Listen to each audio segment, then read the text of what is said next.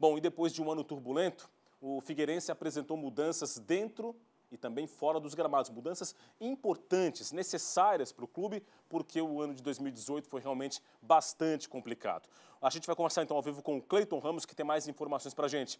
Cleiton, muito boa noite. Mudanças necessárias. O torcedor pediu uma resposta e agora o Figueirense tem um novo presidente a partir de hoje, não é?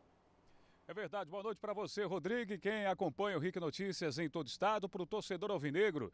Aqui na capital foi um dia diferente e mais um dia histórico para o Clube do Estreito. Cláudio Roneman assumiu o clube, é o novo presidente, entra no lugar de um outro Cláudio, o Vernalha, que saiu depois de muita pressão por causa do momento ruim do time nesta temporada. Ouça agora Cláudio Roneman, novo homem forte, resumindo, é o homem que tem agora a caneta na mão, falando aqui no RIC Notícias.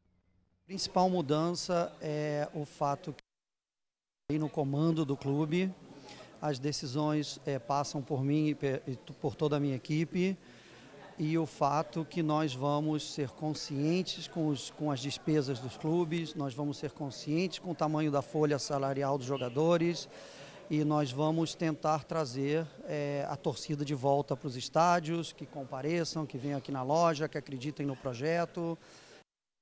O torcedor tem que voltar a acreditar, né, Rodrigo? Porque esse ano até o público decepcionou no estádio Orlando Scarpelli. Foi um dos piores do time no Campeonato Brasileiro. Também como é que faz, hein? Torcedor que vai para o estádio e só vê decepção em resultados no Campeonato Brasileiro. Aí não tem jeito. Boa sorte aí para o Cláudio Roneman, que consiga fazer do Furacão aquele furacão forte de outras temporadas. Volto com você, Rodrigo.